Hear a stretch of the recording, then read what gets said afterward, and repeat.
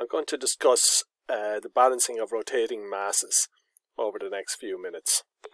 And we'll begin by considering a propeller.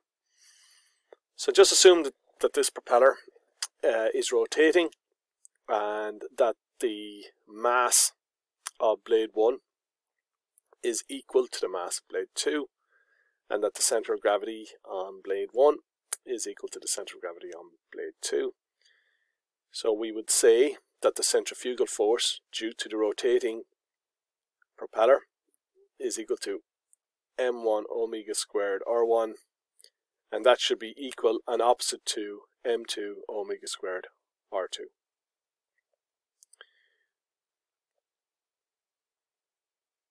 But what happens if the masses are not balanced?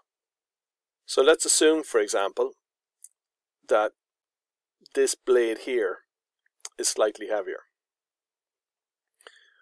Well, what's going to happen to the centrifugal force then? Well, the centrifugal force on this side is going to be bigger than the centrifugal force on that side.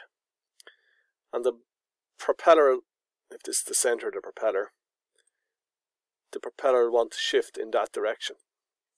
And then when it rotates around, it'll want to shift in that direction. And when it goes around a bit further, it'll want to shift in that direction. And so on. So, here's the larger force. And we've put a vibration sensor here on the, um, on the propeller. So, when the propeller is in this position, the you know the force is purely in the horizontal uh, plane, so the vibration sensor won't, won't sense it. It's only measuring in the vertical plane. But when the propeller rotates to this position, it will experience this force. When the propeller rotates to this position, the force is largest on the on the vertical plane, so we'll get this. And then when we go around again, it'll drop off until we go back to the horizontal position and then there'll be no force in the vertical plane it'll be all on the horizontal plane but in the opposite direction from where we were here when the blade continues around the force will now be sort of downwards and we can continue that on until we have one cycle done. So if you were sitting on this aircraft, you would experience some vibration, and the frequency of the vibration would be equal to the rotational uh, speed of the of the propeller. If if this mass was bigger, then this force would would also be bigger. So if if the mass was if this was bigger, then this would go something like that. And if it was smaller, then it'd be something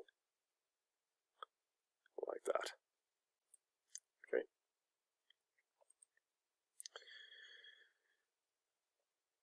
But ideally, we would want to uh, get rid of the vibration. We would want to have uh, no vibration. And uh, we can do that by making sure that the mass and the center of gravity is the same on both propellers. And that's what we do when we're talking about balancing rotating masses. Okay, we're going to make sure we get no, no vibration. Okay, so when it's balanced, then the force 1 here is equal to m1 omega squared r1. And that should be equal and opposite to uh, force 2, which is m2 omega squared r2. We could add the uh, forces, so if we add both f1 and f2, it should be equal to m1 omega squared r1 plus m2 omega squared r2.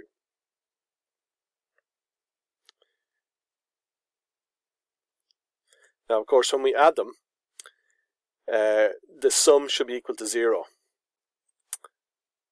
i.e. we want no force.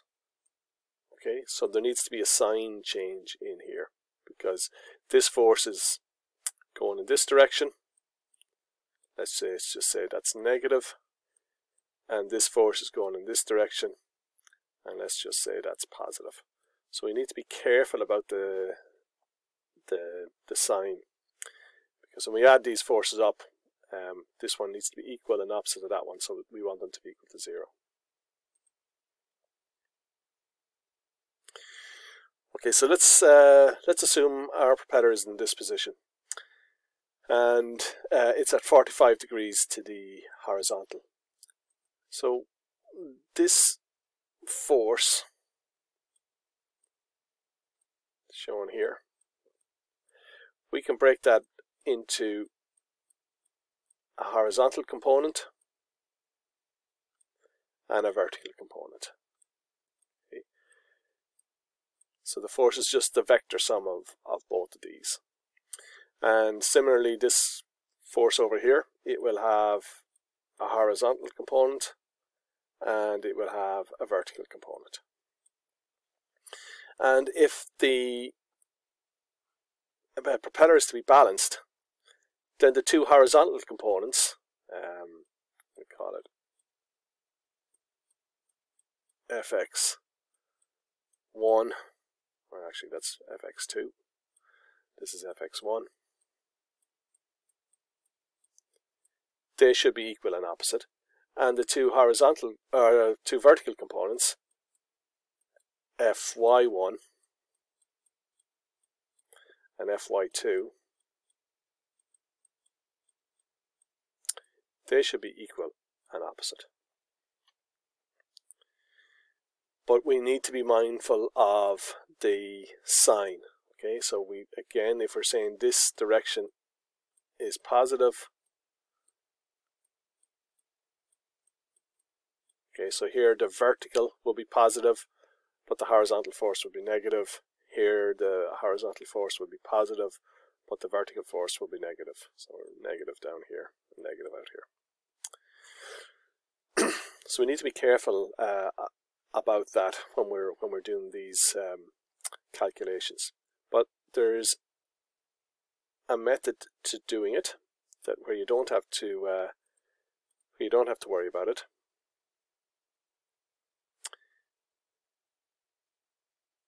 And that is if we take our forces, so this is our horizontal component, so uh, instead of m omega squared r, uh, it's m r cosine theta. So you're going to say what happened to the omega squared? Well, when when the when the propeller is balanced, omega squared is the same for for both blades. So if the propeller is rotating at a thousand RPM, you know omega here is going to be 110, and omega here is going to be 110. So they're going to be equal and opposite. So, so we can disregard the omega. So the force just becomes m1 r1. And if we're only looking at it in the horizontal, so th this is the this is the force here. So that force can be broken down into its uh, horizontal component and its vertical component. So if the force is m1 omega squared r1, We've just said we can negate the omega. Then the vertical component, so this, this part here, that'll be m1 r1 cosine theta 1, and the vertical will be m1 r1 sine theta 1. Now the angle uh, here is 45 degrees. And if I got the cosine of 45 degrees, I'd get 0.7071. And if I got the sine of um, 45 degrees, I'd get 0.7071. But we want um, the force in this direction to be negative, okay? And we want the force in this direction to be positive. So we're saying, so if this is our this is our axis, and let me change my pen color. So if this is the axis here, we want this uh, to be positive and in both the horizontal and vertical plane. This is negative in the in the horizontal plane, but positive in the vertical plane, and so on. So if I got the cosine of 45, this would be a positive and this would be a positive. However, if I measure the angle from here, as shown in the red line, so if that if that uh, angle, so that is uh, theta 1, okay? So if, if we call this angle here theta 1, that would be 135 degrees. If I got the sine of 135 degrees, it would be plus 0.7071. If I got the cosine of 135, it will be minus 0.7071. And that's exactly what we want. So we will measure the angle uh, from, from this axis here. Similarly, um, if this angle here is 45, then we'll measure the angle from there. It'll come all around here. And that will be 315. Okay.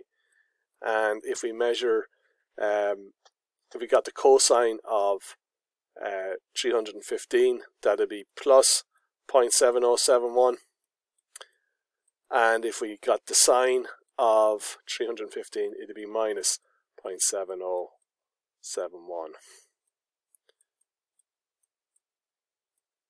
Okay, so by measuring the angles from this this point, uh, that will help us do our uh, equations, and we won't have to worry about signs then.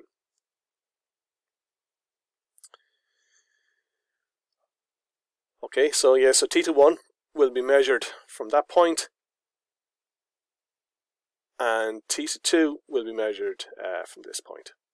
And we plug those into our equations, then the um, this sign will take care of itself.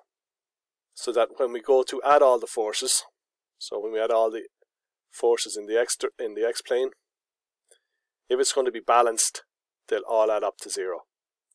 And on the on the y-axis, when we add them all up, if it's going to be balanced, that will also um, add to zero. So to um, to balance our, our rotating masses, we'll end up the forces. So this is blade 1, say for example, and this is blade 2. And they should add up to 0. If they don't, then we have to include some sort of uh, balance mass. So we'd have have to add on a mass to one of the to propeller blades. So in our example, you know, if if this propeller blade was if this one was heavier than heavier than the other one, then we'd have to put on some extra mass here so that the two two blades are um, balanced. So this is the resolved or resultant mass, let's say. So we, we will, when we write that into our equation, this should all be equal to, to zero. Okay. Uh, it'll probably make more sense uh, in an example, and I'll post some example uh, videos also.